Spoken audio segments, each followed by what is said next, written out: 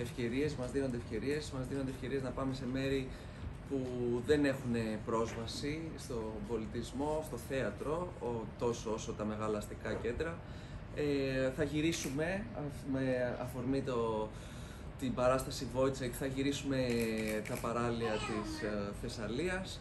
Ε, είναι μια παράσταση η οποία ήδη ξεκίνησε, παίζει στο Θεσσαλικό Θέατρο στο Μήλο του Παπά από τις 5 Ιουλίου. Τελειώνουμε την άλλη εβδομάδα, είναι η παράσταση Wojciech, ένα έργο του Georg Bichner, το οποίο πέρα από την ε, μεγάλη ιστορία που έχει στη, στο Διεθνές Θέατρο, είναι και μια πολύ σημαντική απόφαση από τη διευθύντρια του, του Θεσσαλικού Θεάτρου, την κυρία Σπανού, να το επιλέξει για να παιχτεί σε μια καλοκαιρινή σκηνή. Ε, είναι ένα έργο το οποίο δεν σου έρχεται πρώτα στο μυαλό όταν σκέφτεσαι καλοκαιρινό θέαμα.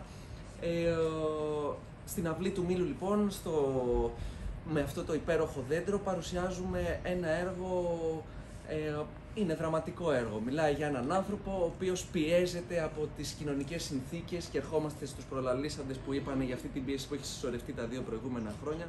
Πιέζεται από τους δικούς του τους ανθρώπους, ε, βιώνει πολύ έντονες ψυχικές πιέσεις και καταλήγει να σπάσει. Το τζακίζει αυτή η πίεση. Εμείς λοιπόν ερχόμαστε με μια πάρα πολύ ωραία παράσταση, με ζωντανή μουσική, με τη μουσική του Tom Waits, την οποία ερμηνεύει ζωντανά ο, Αλέξανδρος, ο Αλέξανδρος Τσιονάς που είναι εδώ, η φίρμα της Λάρισας ε, και η Φέδρα. Ε, με, με ζωντανή μουσική, με μια εξαιρετική σκηνοθεσία του Θανάση Χαλκιά και ερχόμαστε να δώσουμε ένα διαφορετικό ροκ ε, ύφος σε αυτό το πασίγνωστο έργο.